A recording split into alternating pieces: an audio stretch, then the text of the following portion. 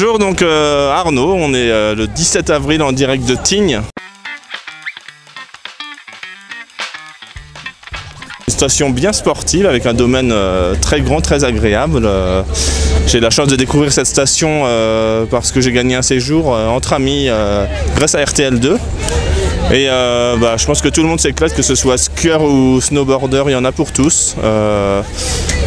On a en plus euh, cette semaine les, les live inting, donc euh, c'est des soirées euh, plutôt sympas qui regroupent les skieurs à faire la fête et, vraiment c'est une station agréable à vivre avec vous voyez une météo parfaite.